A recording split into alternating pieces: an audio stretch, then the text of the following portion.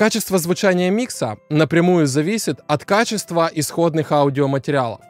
Сегодня я покажу вам наиболее распространенные проблемы, которые встречаются в аудиоисходниках, а также варианты их решения. Приступаем. Я загрузил в RX Multitrack, в аудиозаписях которого присутствует достаточно много разнообразных звуковых артефактов. И сейчас мы их исправим. Начнем с дорожки баса.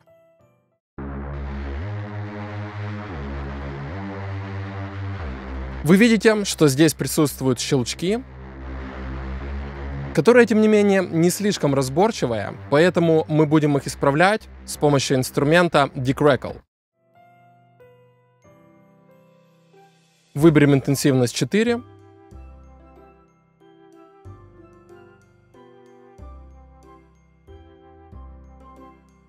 Вы видите, что щелчки были удалены, и теперь давайте послушаем звучание после обработки.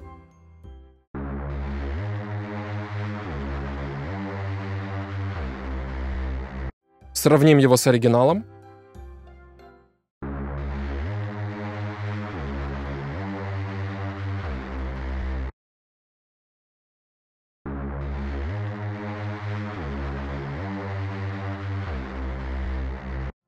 Я не слышу слишком сильной деградации аудиозаписи после обработки, поэтому наши действия можно считать успешными. Движемся дальше. Следующий инструмент — барабаны. Посмотрите внимательно, насколько много шума здесь. Обычно я бы предложил просто выделить фрагмент шума вот таким образом, выбрать инструмент Spectral Denoise и попробовать этот шум изучить.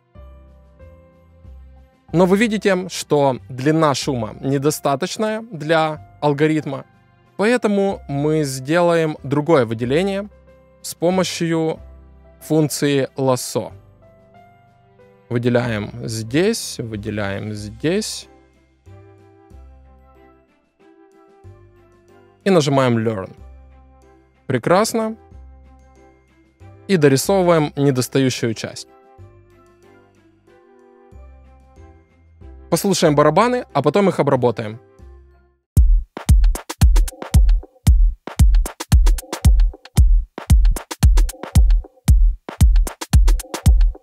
Действительно, на фоне очень много шума. Степень ослабления достаточная. Рендерим. Отлично.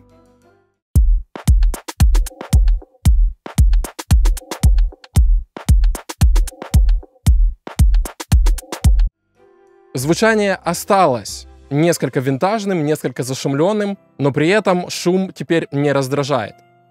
Нам не требуется удалить весь шум из этой аудиозаписи, иначе ее оригинальный характер исказится. Мы лишь делаем ее более читаемой и более подходящей для сведения. Послушаем звучание до обработки.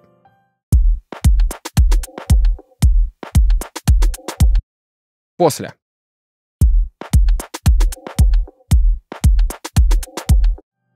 намного более приемлемое звучание. Следующий инструмент — бочка.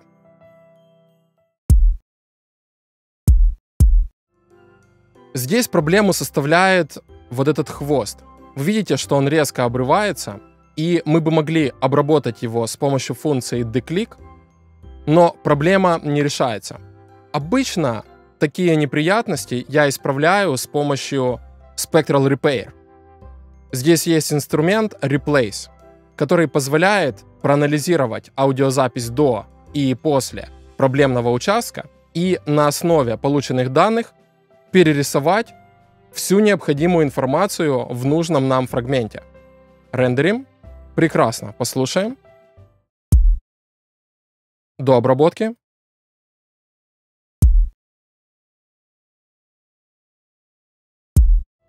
К сожалению, автоматически, как мы делали это раньше, подобную обработку использовать мы не можем, поэтому нужно будет пройтись по каждому из отдельных ударов бочки и вот таким образом их исправить, чтобы хвосты бочки звучали корректно.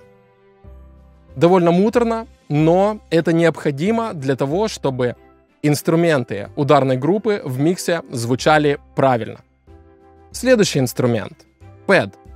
Послушаем его.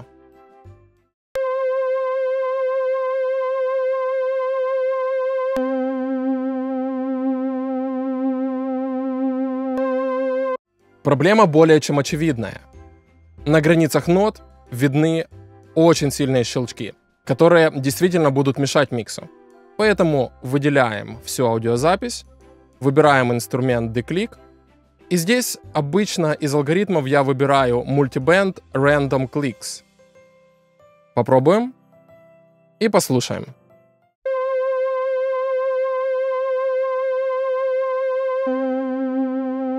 Все, щелчки исчезли.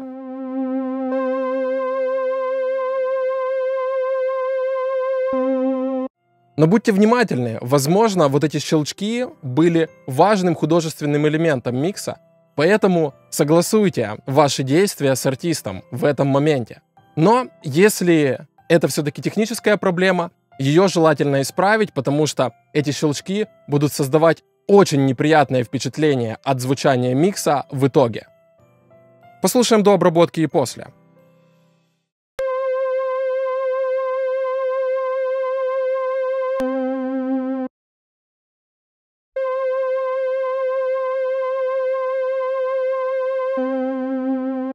намного более приятное звучание. Следующий инструмент — перкуссия.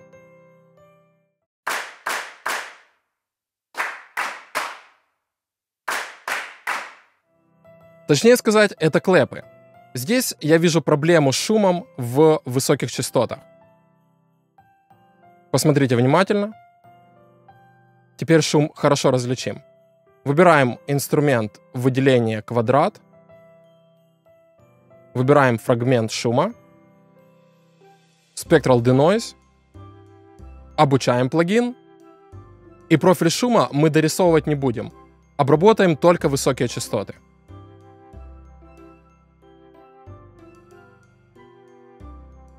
Послушаем теперь.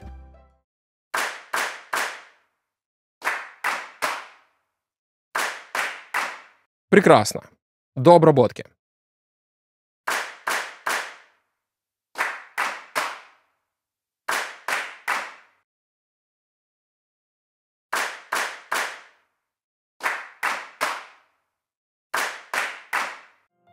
Отличное звучание. Вы видели, что я сделал два прохода денойзером. Обычно, если требуется достаточно интенсивная обработка, за один проход ее делать нецелесообразно, потому что могут появиться дополнительные звуковые артефакты. А если использовать последовательно несколько более мягких обработок, конечное звучание будет более выигрышным. Следующий инструмент. Скрипки.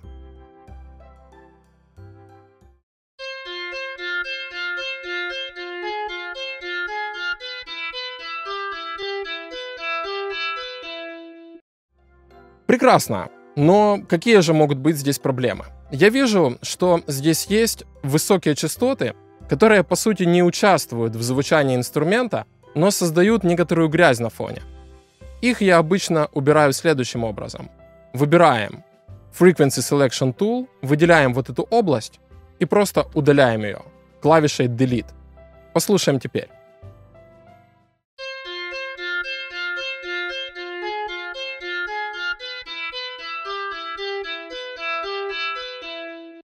До обработки.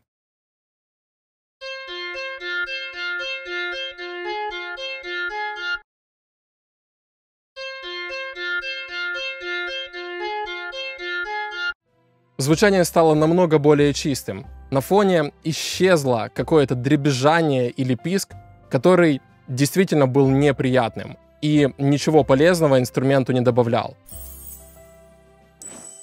Друзья, Сегодня мы разыграем лицензию на программу Isotope RX8 Standard.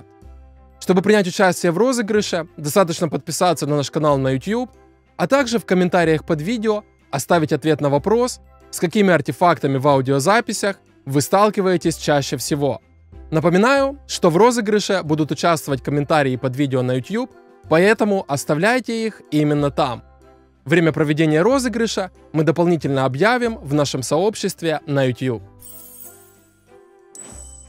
И последняя на сегодня аудиодорожка «Вокал». Послушаем ее. Почему ты так, почему ты так хочешь остаться? Я бы завтра, прямо завтра пешком. Здесь я слышу две основных проблемы. Это взрывные согласные и шум от электросети. Начнем их исправлять. Выделим весь аудиофайл и откроем инструмент Deplosive. Он позволит справиться со звуками Б и П, которые здесь явно слишком интенсивные. Послушаем теперь. Почему ты так, почему ты так хочешь остаться? Прекрасно. Теперь лишних взрывных согласных нет. И низкие частоты также не звучат как-то слишком раздуто. Решаем следующую проблему – шум от электросети. Его можно отчетливо увидеть вот здесь. Выделим вот этот фрагмент и откроем инструмент DHUM. Он сейчас находится в своей дефолтной настройке, но 60 Гц нам не подходит, поскольку шум от электросети у нас должен находиться в районе 50 Гц. Применим обработку и видим, что обработка некорректная. Это значит то, что шум от электросети находится на другой частоте. Мы можем попробовать ее определить с помощью функции learn. Проверим. И частота была изменена на 49,32 Гц. Попробуем. Прекрасно. Вы видите, что гул от электросети был удален.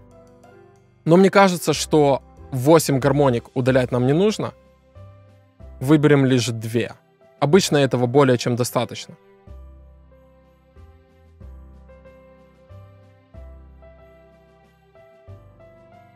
Мне кажется, что сейчас обработка некорректная. Вернемся назад и увеличим количество гармоник. Вот, теперь намного лучше. Послушаем. Почему ты так, почему ты так хочешь остаться? Теперь появились дополнительные призвуки в голосе, которых раньше не было. Соответственно, обработка некорректная. Вернемся назад и уменьшим количество гармоник до двух. Послушаем. Почему ты так, почему ты так хочешь остаться? Прекрасно. Теперь шум от электросети не настолько навязчивый, но при этом артефакты, которые мы добавили после обработки, явно не настолько страшные, как оригинальные артефакты в звучании голоса. Послушаем, как голос звучал изначально. Почему ты так, почему ты так хочешь остаться? И как он звучит после обработок. Почему ты так, почему ты так хочешь остаться? Мы явно потеряли в низких частотах, но это потом можно будет восстановить с помощью эквалайзера. Тем не менее, теперь в голосе нет излишних низких частот на взрывных согласных, которые могут засорить микс и сделать его слишком бубнящим или слишком нестабильным. Сегодня я показал вам основные инструменты исправления аудиоисходников, которые я использую в своей работе. Ну а новые модули, доступные в RX8, я недавно показывал в одном из наших видео. Если ваши миксы до сих пор звучат грязно и неустойчиво, проверьте, возможно проблема не в ваших навыках, а в исходниках, с которыми вы работаете. И если это так, RX поможет исправить все эти неприятности в мгновение ока. Большое спасибо за внимание. Увидимся завтра. Плывите к звуку.